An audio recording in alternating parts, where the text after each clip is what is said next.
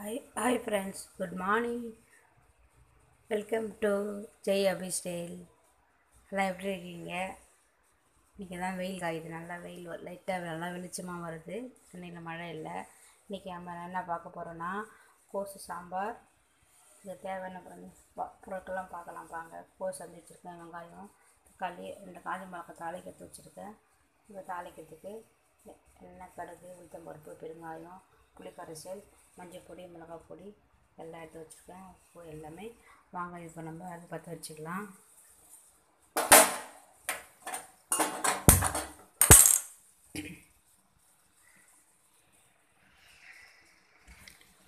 நான் ஆல்ரெடி எண்ணெய் ஊற்றி வச்சுருந்தேன். வீடியோவாக சீக்கிரம் முடியுன்றதுனால கடுகு சீரகம் உளுத்தம்பருப்பு காஞ்ச மிளகா.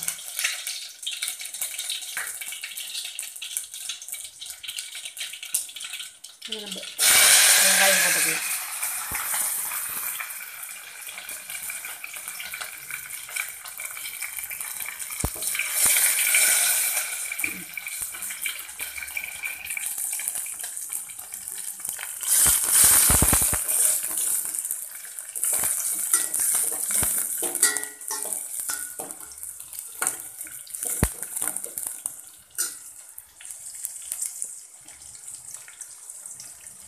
இப்போ பெருங்காயம் போட்டுக்கலாம்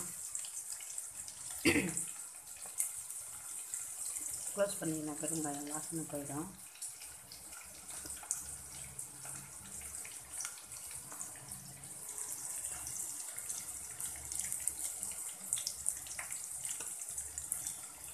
ஓகே க்ளோஸ் பண்ணி வச்சு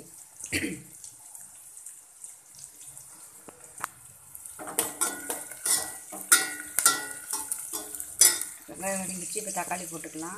இப்போ கோஸ் போ நம்ம கூட்டு பார்த்துருப்போம் பொரியல் பார்த்துருப்போம். இது வந்து சாம்பார். இதுவும் கடையிலும் கடையில் அது கொஞ்சம் நல்லா கடைஞ்சா வந்து எனக்கு சாப்பிட்டு நல்லா இருக்காது ஊற்றி நல்லாயிருக்கும்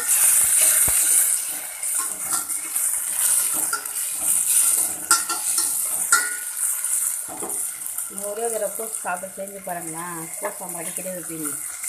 செம்மையாக கோஸ் சாம்பார் நல்லாயிருக்கும்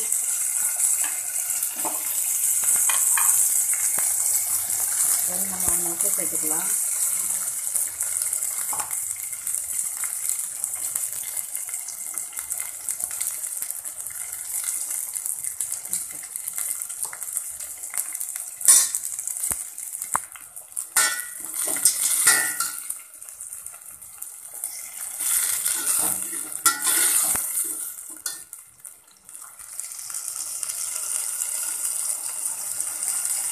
மஞ்சள் பொடி போட்டு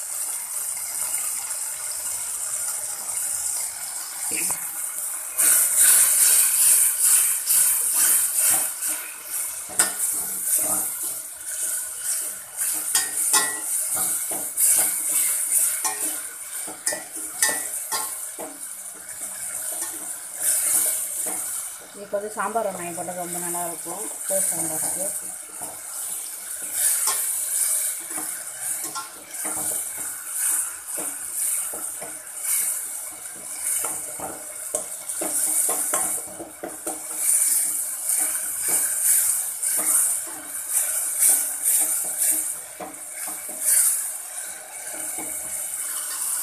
இப்போ வந்து நம்ம வந்து கோஸ் சேர்த்துக்கலாம் கோஸ் நான் பொடியை இது பண்ணி வச்சுருக்கேன். சிந்தாமல் வரணும் சிந்தாமல் வரணும். சிந்தாம- சிந்தாமல் வந்துடுச்சு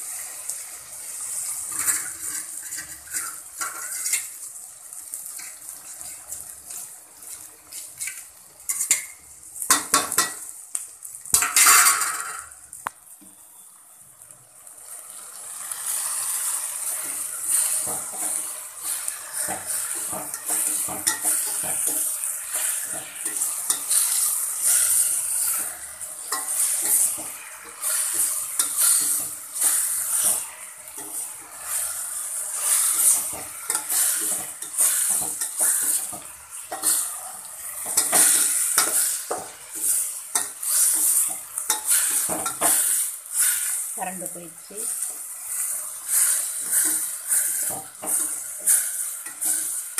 காலையிலே கரண்டு போயிடுச்சு. துவையில் வர அரைக்கணும். பாருங்க அப்படியே திரும்பி கொஞ்சமாக ஆகிட்டு பாருங்க பாருங்கள் நான் ஹையில் தான் வச்சுருக்கேன். சீக்கிரம் வீடியோ முடியுங்கிறதுனால அப்படியே திரும்பி கொஞ்சமாக இருந்துச்சு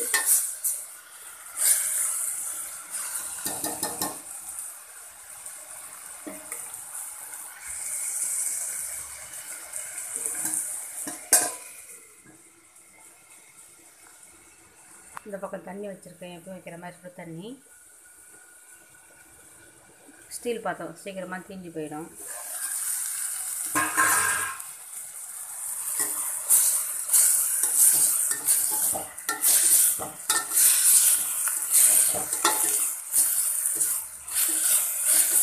வெளிச்சம் கம்மியாக இருக்குது கவர் போயிட்டதுனால.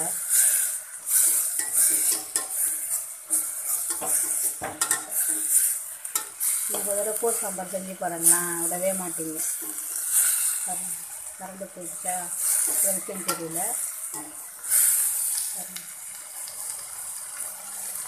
சூப்பராக இருக்கும் கோஸ் சாம்பார்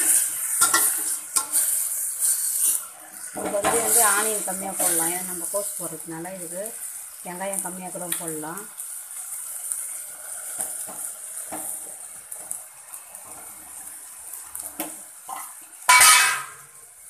கோஸ் வதங்கிடுச்சு. டைம் இல்லை எனக்கு. பண்ணிட்டு இருக்கிறேன்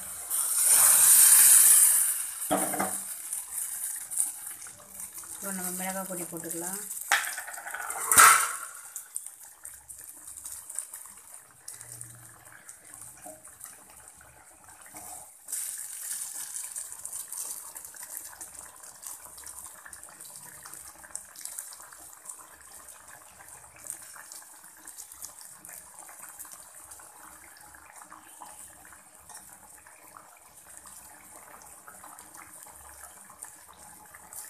ஒன்றரை ஸ்பூன் போட்டுக்கிறேன்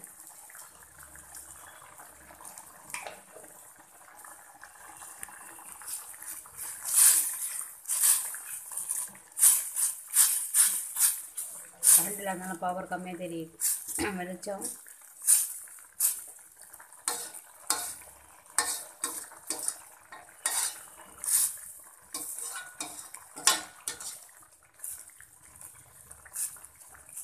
பிரைட்னஸ் கம்மியாக தெரியுது.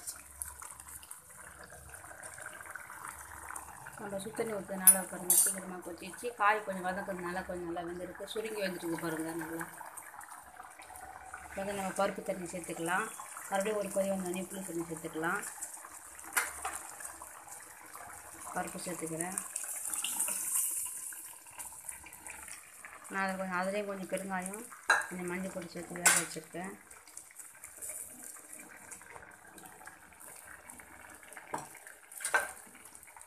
குக்கரெல்லாம் மீதி ஊற்றிடலாம் கொஞ்சம் பருப்பு ஓட்டிகிட்ருக்கு கொஞ்சம் ரசத்துக்கு பருப்பு எடுத்து வச்சுட்டேன் நான்.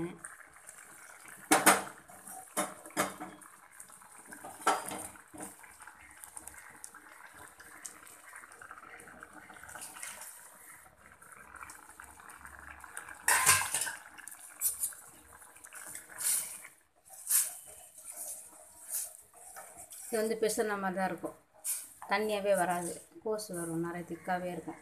கொஞ்சம் நல்லா பெய்யுது கொஞ்சம் திக்காக பிசுன மாதிரி வச்சா நல்லாயிருக்கும் பாருங்கள்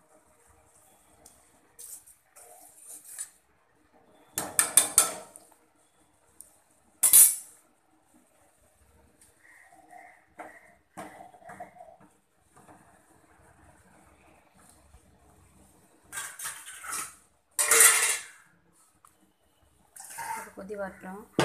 அதுக்குள்ளே நம்ம ஃப்ரெண்ட்ஸ் வெளியில் போயிட்டு வரலாம். கொத்தி விட்டு வாங்க போகலாம் இதே ஒம்பது நிமிஷம் ஆயிடுச்சு. இதுதான் ஃப்ரீயாக இருக்கும். வாசல் கிளீனாக மரத்தில் வந்து தழை கொட்டிக்கிட்டே இருந்ததுனால மழை பெஞ்சதுனால இது பண்ண முடியல. இதான் நான் கோலமே போட்டிருக்கேன். குட்டியாக கோலம் போட்டிருக்கேன். பாருங்கள்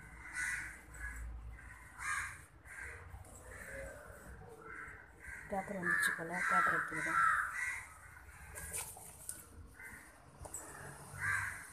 கீழே படியெல்லாம் பெருக்கல இங்கே தான் பிரிக்கிருக்கேன் இது நல்ல வெயில் காய் பாருங்க. மெயின் ரோட்டில் நல்ல வெயில்.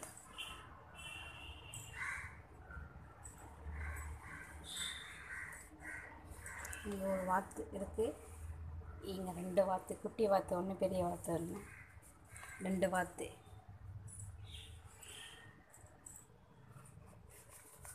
கேட்டு க்ளோஸ் பண்ணிடலாம்.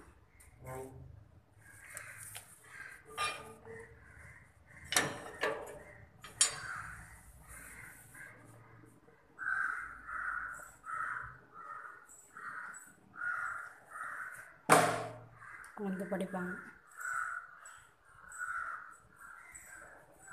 பத்து நிமிஷம் ஆச்சு பதினோரு நிமிஷம் ஆச்சுமே ஃப்ரெண்ட்ஸ் வாங்க புளி ஊற்றிடலாம் இப்போது குறைச்சிட்ருக்குன்னு நினைக்கிறேன்.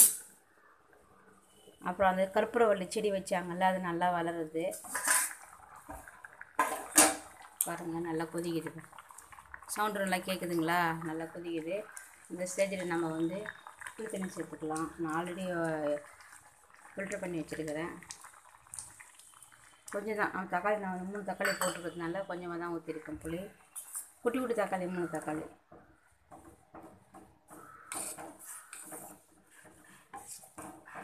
அவ்வளோதான் கொச்சிச்சு குழம்பு. அங்கே பாருங்கள் திக்கா அள்ளும்போது தெரியும்ல குழம்பு இப்போ நம்ம எதுவுமே நம்ம ஒரு தேஜர் இது பண்ணும்போது தெரியும்.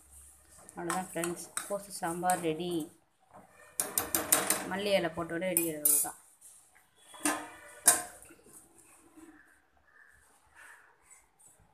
மல்லி இலை எங்கே உப்பு தண்ணியில் ஊற வச்சுருக்கேன்.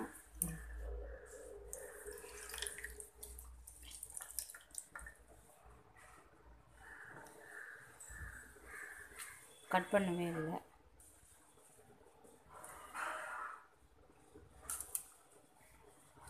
அதான் ஃப்ரெண்ட்ஸ் இந்த வீடியோ இதோட முடிச்சுக்கிறேன். நீங்களும் வீட்டில் கோஸ் சாம்பார் செஞ்சு பாருங்க. செஞ்சு பாருங்கள் கோஸ் சாம்பார் எப்படி இருக்கும் ரொம்ப டேஸ்ட்டாக இருக்கும். உண்மையிலே செஞ்சு பாருங்கள் நல்லாயிருக்கும்